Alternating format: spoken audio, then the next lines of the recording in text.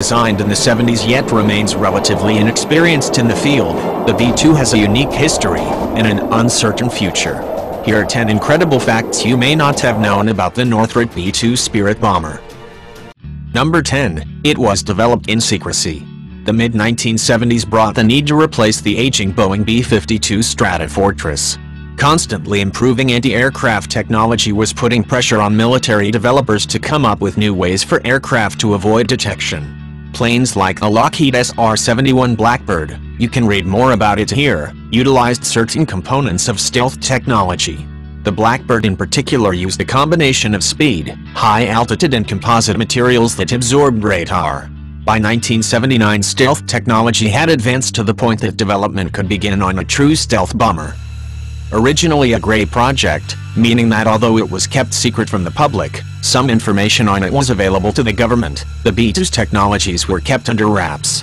So much so that a Northrop employee was arrested in 1984 when he attempted to leak info on the aircraft's development to the Soviet Union.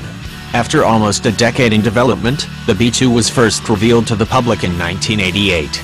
Even then, the viewing was tightly restricted and spectators were not allowed to see the rear of the plane.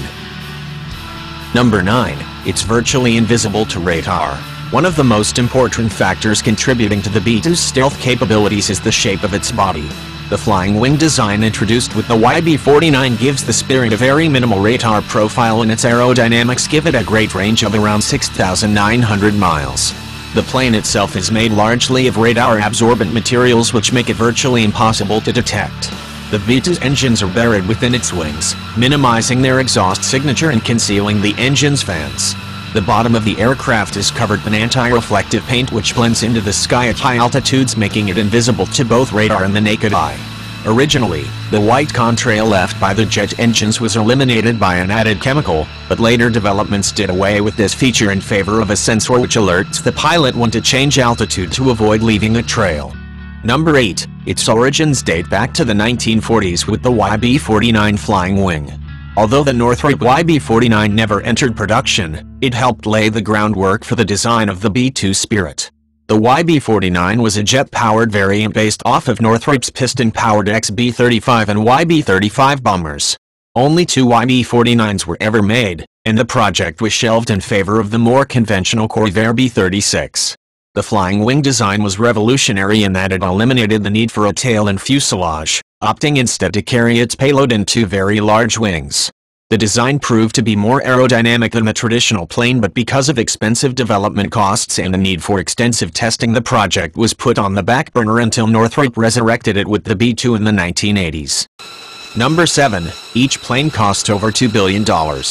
The original plan was to build 132 B-2 Spirits, but after the collapse of the Soviet Union in the early 90s, the primary need for the bombers was greatly reduced to the point that President George H.W. Bush announced that production would be limited to 20 aircraft in 1992. Three years later Northrop made a proposal to build an additional 20 aircraft at a cost of $566 million each.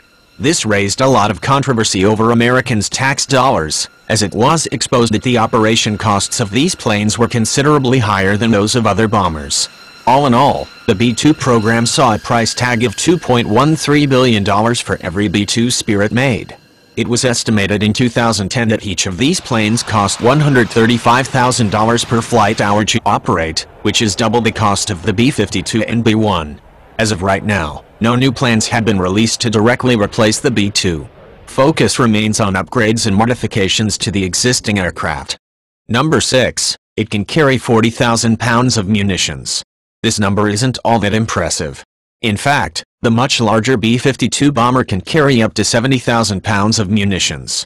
What makes the B-2 impressive is the accuracy with which it can deploy its bombs and the fact that it can access guarded territory without being detected. The U.S. military redefined the B-2's role after the Soviet Union dissolved. Whereas before it was intended to primarily carry nuclear bombs, it was converted into a multi-role bomber capable of carrying conventional bombs as well. The B-2 has two rotary launchers capable of releasing dumb bombs, which simply fall on the target, as well as precision-guided bombs. The bomber is equipped with GPS targeting which allows it to attack its target swiftly and with precision. Number 5. It was one of the first planes designed with computers. Since the B-2 was so complex and required such attention to detail to ensure its stealth characteristics, the use of early computer technologies was instrumental in the aircraft's design and manufacturing process.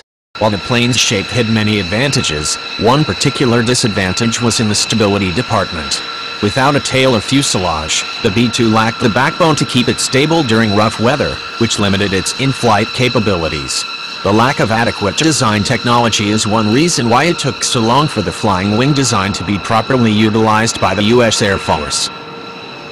Number 4. The U.S. bomber fleet is not impressive.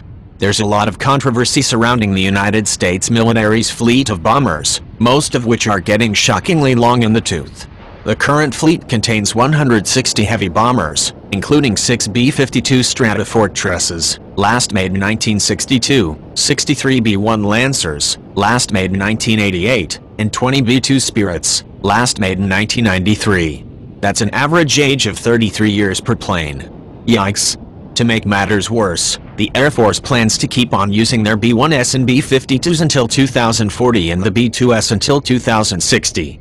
There is already worry that these aircraft are quickly becoming, or have long been, technologically obsolete with regard to other countries' military weapons. Their vulnerability to attack only increases with their age, and the US appears to have no replacements on the horizon. Number 3. It was first used in combat in 1999. Although it was never used in the function it was designed for, dropping nuclear bombs during the Cold War, the B-2 entered action for the first time in 1999, dropping conventional munitions in the Kosovo War. It was responsible for 33% of the targets destroyed and its GPS targeting system proved highly effective compared to the carpet bombing techniques used previously by other bombers. B-2s have since dropped bombs during missions in Afghanistan, Iraq and Libya. Number 2, the plane is highly automated.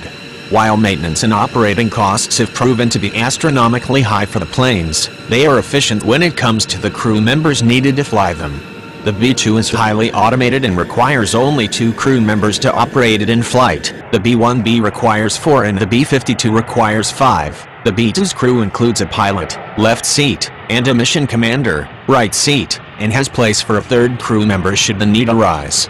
Extensive research was done on pilot fatigue and sleep cycles for the B-2's operation, and it's one of very few two-seat aircraft that allows one member to sleep, prepare meals or use the washroom while the other flies the plane. Number 1. Plans for follow-up. Since the end of the Cold War, little emphasis has been placed on expanding or revitalizing the U.S. Air Force's fleet of bombers. In fact, one could argue the military's bomber fleet has regressed, as only 20 out of an originally planned 132 B-2s were actually built, and it's now relying heavily on a fleet of aging bombers from the late 80s and early 90s.